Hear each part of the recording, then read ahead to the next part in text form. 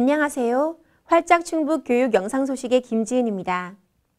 충청북도교육청은 행정안전부 국가기록원에서 실시하는 2020년도 기록관리 기관 평가에서 최우수 등급을 받았다고 밝혔습니다. 올해 기록관리 기관 평가는 전국 468개 공공기관을 대상으로 기록관리 업무 기반, 업무 추진 등 3개 분야 16개 지표로 나누어 정량 및 정성평가 방식으로 진행됐습니다. 충청북도 교육청에 따르면 전국 17개 시도교육청과 176개 교육지원청 중 충북교육청과 6개 교육지원청은 최우수 등급인 가등급을 받아 높은 기록관리 업무 수준을 인정받았습니다. 국가기록원 총평에도 충청북도 교육청은 전체적으로 기록관리 수준이 매우 우수하고 지표 전체 영역에서 높은 수준으로 안정화됐으며 교육지원청의 경우 기록관리 업무 수준이 전체 교육지원청 평균보다 매우 높아 타 지역에 귀감이 된다는 평을 받았습니다. 충청북도 교육청은 충청북도 교육청 사랑관 세미나실에서 교육부와 함께 충북형 미래형 혁신학교인 행복자치미래학교 설명회를 가졌습니다. 특히 이번 설명회에는 충북 도내학교뿐만이 아니라 충남과 대전 지역의 대상교 교직원들도 함께 참여해 충청권 교육청의 미래형 혁신학교 운영 방향을 함께 만들어가는 자리로 더욱 눈길을 끌었습니다.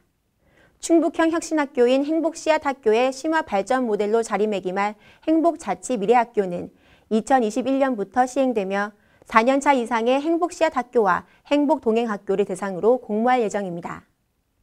충북형 미래형 혁신학교인 행복자치미래학교는 깊은 배움으로 성장하는 자치와 상생의 민주시민을 기르기 위해 민주성, 공동체성, 지속가능성, 창의성, 지역성 등 다섯 가지 기본 운영 원리를 바탕으로 운영되며 충청북도 교육청은 중점 추진 과제로 일상의 민주주의를 실천하는 학교 자치, 더 깊은 배움의 미래형 교육과정, 교육 중심의 학교 체제와 미래형 학교 공간 조성 등으로 선정해 추진한다고 밝혔습니다. 충청북도 유아교육진흥원은 코로나19 확산으로 중단됐던 행복 나눔 단체 체험, 즐겁고 신나는 토요 가족 체험, 감수성을 키우는 생태 체험 운영을 재개했습니다.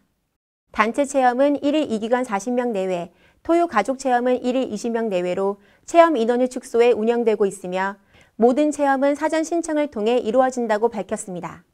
단체 체험 및 토요 가족 체험은 5개 체험터에 실내외 90여 종의 체험 활동을 제공하고 있고 재구조와 사업이 이루어진 물의 나라, 롤링볼, 빙글빙글 팽이 의자 등의 놀이세상 활동을 새롭게 제공해 큰 호응을 얻고 있습니다.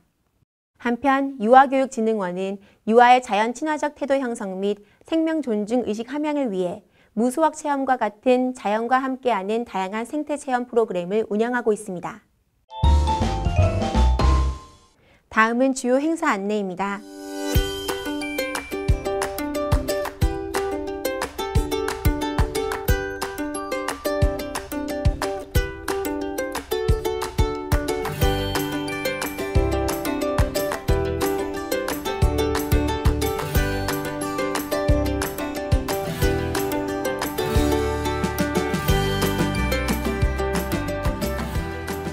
교육의 힘으로 행복한 세상을 만들겠습니다. 이상으로 활짝 충북 교육 영상 소식을 전해드렸습니다. 고맙습니다.